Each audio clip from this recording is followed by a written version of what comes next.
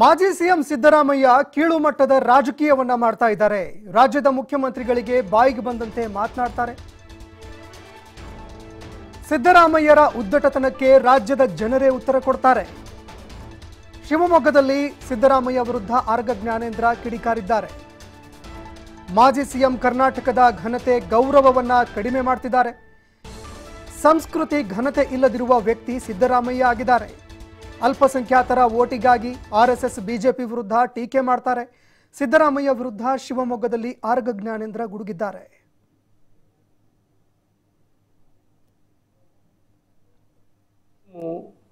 ಇಡೀ ಕರ್ನಾಟಕ ರಾಜ್ಯದ ರಾಜಕಾರಣದ ಅಂತಸ್ತನ್ನ ಕಮ್ಮಿ ಮಾಡ್ತಾ ಇದ್ದಾರೆ.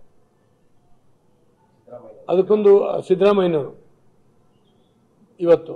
ಅದಕ್ಕೊಂದು ಬೆಲೆಯೇ ಇಲ್ಲ. ಅವರು ಮನಸ್ಸಿಗೆ ಬಂದಂಗೆ, ಬಾಯಿಗೆ ಬಂದಂಗೆ ಮಾತನಾಡುವಂತ ಮಾತನಾಡಬಲ್ಲಂತ ಎಲ್ಲ ಕೆಲಸಗಳನ್ನು ಮಾಡ್ತಾರೆ. ಯಾರ ಬಗ್ಗೆ ಏನು ಬೇಕಾದ್ರೂ ಮಾತನಾಡ್ತಾರೆ. ಭಾಳ ಕೀಳುಮಟ್ಟದ ರಾಜಕಾರಣಕ್ಕೆ ಒಬ್ಬ ಮುಖ್ಯಮಂತ್ರಿ ಆಗಿದ್ದಂಥ ಮನುಷ್ಯ ಇಳಿತಾರೆ ಅಂತ ಹೇಳಿದ್ರೆ ಜನ ಇದನ್ನ ವಿವೇಚನೆ ಮಾಡಲಿ.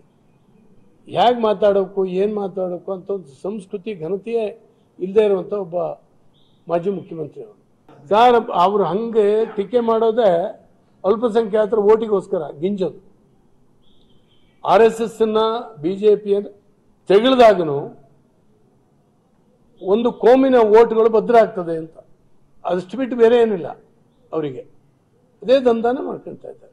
ಸಿ ಎಮ್ಮು ಇಡೀ ಕರ್ನಾಟಕ ರಾಜ್ಯದ ರಾಜಕಾರಣದ ಅಂತಸ್ತನ್ನ ಈ ಬಗ್ಗೆ ಮತ್ತಷ್ಟು ಮಾಹಿತಿಯನ್ನ ಕೊಡ್ತಾ ಹೋಗ್ತಾರೆ. ಪ್ರತಿನಿಧಿ ನವೀನ್ ಫೋನ್ ಸಂಪರ್ಕದಲ್ಲಿ ಜಾಯ್ನ್ ಆಗಿದ್ದಾರೆ. ನವೀನ್, ಈಗಾಗಲೇ ನೋಡೋದಾದ್ರೆ ನಾವು ಸಿದ್ದರಾಮಯ್ಯನವರು, ಮುಖ್ಯಮಂತ್ರಿ ಬಸವರಾಜ ಬೊಮ್ಮಾಯಿ ಅವರ ಬಗ್ಗೆ ಹೇಳಿದಂತಹ ಹೇಳಿಕೆ ರಾಜ್ಯ ರಾಜಕಾರಣದಲ್ಲಿ ಬಹುದೊಡ್ಡ ಚರ್ಚೆಗೆ ಗ್ರಾಸವಾಗ್ತಾ ಇದೆ.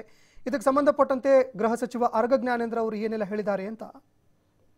ಹೌದು, ಸಂತೋಷ್, ಪ್ರಮುಖವಾಗಿ ಸಿಎಂ ಬಸವರಾಜ ಬೊಮ್ಮಾಯಿ ಅವರು ಇರ್ಬೋದು, ಜೊತೆಗೆ ಆರ್ ಎಸ್ ಬಗ್ಗೆ ಏನು ಮಾಜಿ ಸಿಎಂ ಸಿದ್ದರಾಮಯ್ಯ ಅವರು ಹೇಳಿಕೆಯನ್ನ ಕೊಟ್ಟಿದ್ರು ಅದು ಕಳೆದ ಎರಡು ಮೂರು ದಿನಗಳಿಂದ ಕೂಡ ಸಾಕಷ್ಟು ಚರ್ಚೆ ಆಗ್ತಾ ಇರುವಂತದ್ದು ಅದಕ್ಕೆ ಸಂಬಂಧಪಟ್ಟ ಹಾಗೆ ಬಿಜೆಪಿ ನಾಯಕರು ಸಿದ್ದರಾಮಯ್ಯ ವಿರುದ್ಧ ಮುಗಿಬೀಳೋ ಕೆಲಸವನ್ನು ಕೂಡ ಈಗಾಗಲೇ ಮಾಡ್ತಾ ಇರುವಂತದ್ದು ಇದರ ನಡುವೆ ಇವತ್ತು ಶಿವಮೊಗ್ಗದಲ್ಲಿ ಗೃಹ ಸಚಿವ ಅರಗ ಜ್ಞಾನೇಂದ್ರ ಕೂಡ ಸಿದ್ದರಾಮಯ್ಯನವರ ವಿರುದ್ಧ ವಾಗ್ದಾಳಿ ಮಾಡೋ ಕೆಲಸವನ್ನ ಕೂಡ ಮಾಡಿರುವಂತದ್ದು ಯಾಕಂದ್ರೆ ಸಿದ್ದರಾಮಯ್ಯನವರು ರಾಜ್ಯದ ಸಿಎಂ ಮತ್ತೆ ರಾಜ್ಯದ ರಾಜಕಾರಣದ ಅಂತಸ್ತನ್ನ ಕಡಿಮೆ ಮಾಡೋ ಸಲುವಾಗಿ ಕೆಲಸವನ್ನ ಮಾಡ್ಲಿಕ್ಕೆ ಹೊರಟಿದ್ರೆ. ಅದೇ ಅದೇ ಕಾರಣಕ್ಕಾಗಿ ಅವರು ಈ ರೀತಿಯ ಹೇಳಿಕೆಗಳನ್ನ ಕೊಡ್ತಾ ಇದ್ದಾರೆ. ಯಾಕಂದ್ರೆ ಅವರು ರಾಜಕಾರಣಕ್ಕೆ ಒಂದು ಬೆಲೆ ಇತ್ತು. ಅದನ್ನು ಇವತ್ತು ಇಲ್ಲದಂತ ರೀತಿಯಲ್ಲಿ ಮಾಡ್ತಾ ಇದ್ದಾರೆ. ಯಾಕಂದ್ರೆ ಮನಸ್ಸಿಗೆ ಬಂದಂತೆ ಸಿದ್ದರಾಮಯ್ಯನವರು ಮಾತಾಡ್ತಾ ಇದ್ದಾರೆ. ಯಾರು ಏನು ಬೇಕಾದ್ರೂ ಮಾತಾಡ ಅದರಲ್ಲೂ ಕೂಡ ಅವರು ಕೂಡ ಮುಖ್ಯಮಂತ್ರಿಯಾಗಿ ಕಾರ್ಯನಿರ್ವಹಣೆಯನ್ನ ಮಾಡಿದಂತ ವ್ಯಕ್ತಿ. ಅವರು ಆದ್ರೂ ಕೂಡ ಮುಖ್ಯಮಂತ್ರಿ ಸ್ಥಾನಕ್ಕೆ ಅಗೌರವ ನೀಡೋದಕ್ಕೆ ಆ ರೀತಿಯ ಹೇಳಿಕೆಗಳನ್ನ ಕೊಡ್ತಾ ಇದ್ದಾರೆ. ಅದರಲ್ಲೂ ಕೂಡ ಕೀಳು ಮಟ್ಟದ ರಾಜಕೀಯವನ್ನ ಸಿಎಂ ಮಾಜಿ ಸಿಎಂ ಸಿದ್ದರಾಮಯ್ಯ ಅವರು ಮಾಡ್ತಾ ಇದ್ದಾರೆ. ಇದಕ್ಕೆ ರಾಜ್ಯದ ಜನರು ಕೂಡ ಉತ್ತರವನ್ನ ಕೊಡ್ತಾರೆ. ಯಾಕಂದ್ರೆ ಈಗಾಗಲೇ ಅದ್ರ ಜನರು ಅವರಿಗೆ ಉತ್ತರವನ್ನ ಕೊಟ್ಟಿದ್ದಾರೆ. ಮತ್ತು ಕೂಡ ಅವರಿಗೆ ಮುಂದಿನ ಚುನಾವಣೆಯಲ್ಲಿ ಅದ್ರ ಜನರು ಅವರಿಗೆ ಉತ್ತರವನ್ನ ಕೊಡ್ತಾರೆ. ಯಾಕಂದ್ರೆ ಒಬ್ಬ ಸಿಎಂ ಆಗಿದಂತಹ ವ್ಯಕ್ತಿ ಈ ರೀತಿಯಾಗಿ ಮಾತಾಡೋದ್ರ ಸಂಸ್ಕೃತಿ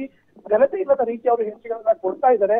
ಅಲ್ಪಸಂಖ್ಯಾತರ ಓಟಿಗಾಗಿ ಅವರು ಈ ರೀತಿಯಾಗಿ ಆರ್ ಎಸ್ ಮತ್ತೆ ಬಿಜೆಪಿಯನ್ನ ಸಿಎಂ ಅನ್ನ ಟೀಕೆ ಮಾಡೋ ಕೆಲಸವನ್ನ ಮಾಡ್ತಿದ್ದಾರೆ ಅನ್ನೋ ವಾತಾವರಣ ಕೂಡ ಈ ಶಿವಮೊಗ್ಗದಲ್ಲಿ ಅರ್ಗ ಜ್ಞಾನೇಂದ್ರ ಹೇಳಿರುವಂತದ್ದು ಸಂತೋಷ. ಧನ್ಯವಾದಗಳು ನವೀನ್, ನಿಮ್ಮೆಲ್ಲ ಮಾಹಿತಿಗೆ.